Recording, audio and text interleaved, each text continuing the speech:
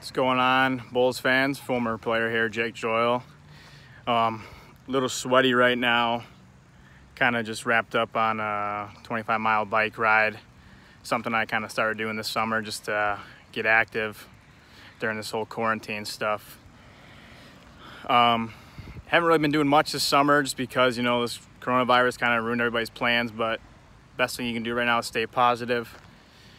Um, unfortunately, this summer I was supposed to undergo uh, hip surgery, but again, Corona ruined my plans. So, kind of just hanging out every day, just working out, trying to stay active. Um, currently at Iowa State, so pretty close to Mason City. Fortunately enough, I was able to make it up for a couple games last year, check out the new barn. But uh, hopefully this year got some more time in my hands so hope to see you guys all out there at the rink this year. And uh, hope everybody enjoys the rest of their summer. So take care now